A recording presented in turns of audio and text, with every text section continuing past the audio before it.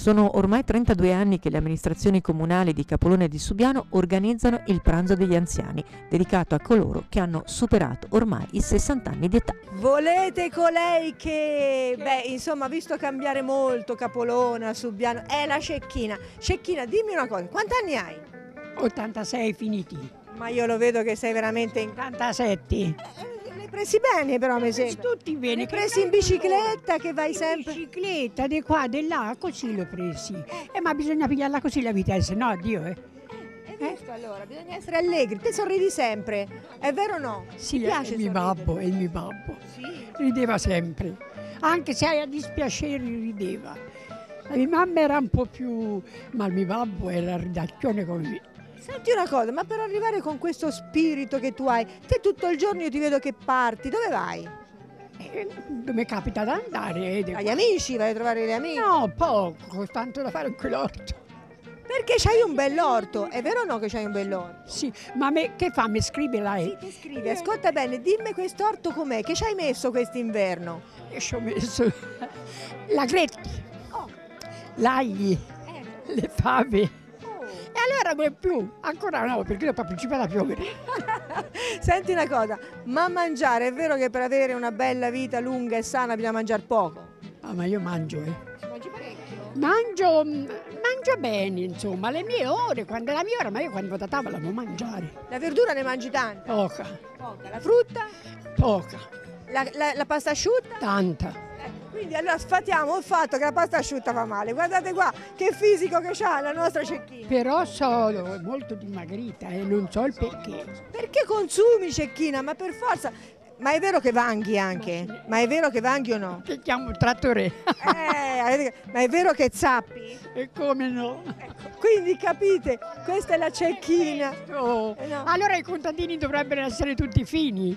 Eh no, no, è qualità. La mia mamma. Io sono torna magra, ma a Beh. me mi importa. Però mi rincresce che siamo più brutte quando siamo magri. Stai benissimo, una bellissima signora, la nostra cecchina. Guardate cosa significa naturalmente stare insieme e vivere bene. Grazie cecchina, buona sbiciclettata, eh? Ciao bella. Insieme gli anziani di Capolona, insieme gli anziani di Subiano. Eh, cosa vuole essere? Ma è una sorta anche di ringraziamento verso chi ha fatto crescere le comunità di Capolona e anche di Subiano, cioè, penso che loro sono la nostra memoria storica, quindi è una tradizione che noi abbiamo trovato e abbiamo cercato di continuare e magari anche ulteriormente valorizzare, proprio perché eh, credo che la storia di un territorio si faccia anche dalle esperienze personali come i tanti partecipanti a questo pranzo. Dopo 60 anni Enrico Donati è giovane, dobbiamo dire così, e dopo ecco, 60 anni si ritrovano loro e vedo che ogni anno non rinunciano a questo appuntamento. Sì, ricordiamo anche che c'è una presenza significativa delle persone che sono momentaneamente o comunque 24 ore su 24 ricoverate all'RSA Boschi, per cui è anche un motivo di confronto tra dei genti e magari coetanei che stanno un po' meglio, ma che comunque scambiano le, le idee tra loro e si, si confrontano anche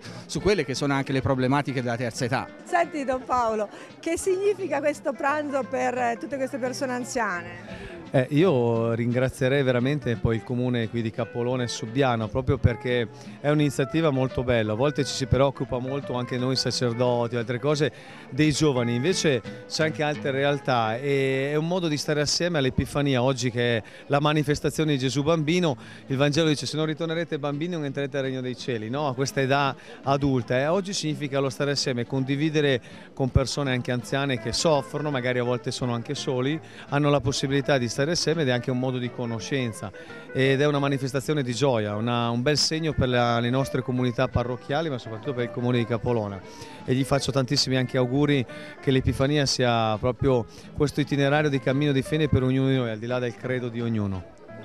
Antonella Luzzi, abbiamo parlato di RSA, abbiamo parlato dei nostri anziani che oggi sono qui insieme a tante altre persone comunque che sono della comunità. È un'esperienza anche sicuramente sia per coloro che invece sono qui e abitano nelle proprie case, è un'esperienza invece per coloro che risiedono presso di voi. No? E quindi anche un confronto, un sentirsi uniti. È solo tanti anni ormai che curiamo questo aspetto. Effettivamente ai nostri anziani gli serve per sentirsi ancora parte della comunità, per eh, frequentare i loro coetanei che un pochino più fortunati eh, a livello di salute, però allo stesso tempo molti anziani hanno un po' lo, lo spettro della malattia e anche vedere che si può affrontare con eh, certo cura ma anche gioia, leggerezza, comunque continuare una qualità della vita accettabile penso che faccia piacere anche agli anziani del territorio trovarci ogni anno. Qui trovo il maresciallo Fabio Rizzo con Don Giuliano Francioli. Tutte belle, truccate, tutte belle, belle. Guarda, guarda le belle là. Ah, tutte... Perché è l'occasione, no? Vedo. È importante. Ma se vuoi cominciare un pochino anche voi media a far passare un pochino di, di speranza, di fiducia e di sorrisi. Oh, allora andiamo a fare questi con bambini, con tutti, con la società, per ridargli un dono, oggi che c'è magi, o no? il dono della gioia, della fiducia, stare insieme è la prima cosa, ritrovare un po' le relazioni, eh? star meno a, a dir mal di quell'altri, un bel sorriso, un incoraggiamento, una mano stretta. Fabio, tu vivi comunque questi due territori e quindi ti accorgi proprio queste persone anziane forse come hanno proprio bisogno, come dice Don Giuliano. Forse qui però è anche l'occasione proprio dell'incontro, no? Si incontrano e domani riparlano anche fra di sé, no? No, ma è un incontro annuale che mi piace parecchio partecipare perché è 13 anni che partecipo proprio alla festa della Befana. È una cosa che è parecchio sentita perché poi questi anziani vogliono essere anche considerati, quindi c'è il discorso del dialogo e è molto bello, guarda, è molto bello veramente e siamo vicini alla nostra gente, alla gente del nostro territorio, la gente che però è anche ospite della residenza protetta di Subiano. Ma quanti ce ne avete? Abbiamo 40 anziani residenti e 6 anziani che fanno il diurno. Vengono la mattina e tornano a dormire la sera a casa. Ora io vorrei farvi capire l'importanza anche di questo servizio. Antonella, tu hai visto nascere la residenza protetta. Io penso che sia fondamentale per tantissime famiglie, purtroppo non riusciamo a dare una risposta ampia visto dire, alle necessità che veramente ci sono. Anche il diurno è una struttura diciamo, che eh, consente agli anziani di stare al proprio domicilio chi ha qualcuno a casa la sera eh, può stare con noi di giorno, è al sicuro, è protetto, i figli possono lavorare, dedicarsi alle varie attività tranquillamente e, e poi l'anziano riesce a mantenere il proprio ambiente di vita. E questo penso che sia fondamentale. E per tanti anni vedo che ce la fanno e quando peggiorano le situazioni di salute poi magari un eventuale inserimento in struttura è molto più facile, molto più indolore insomma. Senti, eh, da qualche anno si vedono anche dei messaggi molto belli le feste della residenza protetta.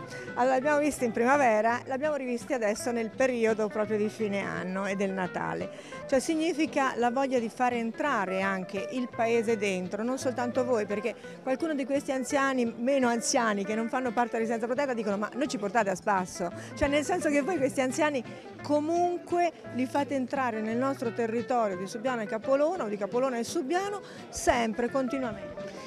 Sì, cerchiamo veramente di vivere il paese, il paese ce lo consente, eh, tanta gente ci avvicina, insomma, c'è anche un bel volontariato che ci agevola le uscite in paese, sia che fa parte dell'Auser che fa parte della parrocchia. E puntualmente, devo dire, negli ultimi anni partecipano tutte le iniziative che organizziamo e l'RSA è un luogo aperto, le porte sono aperte eh, qua insomma, tutto il giorno, tutto il giorno, quindi qualsiasi visitatore è ben accetto. Facciamo anche delle attività strutturate che, mm, alla quale mm, dire, invitiamo volentieri la popolazione.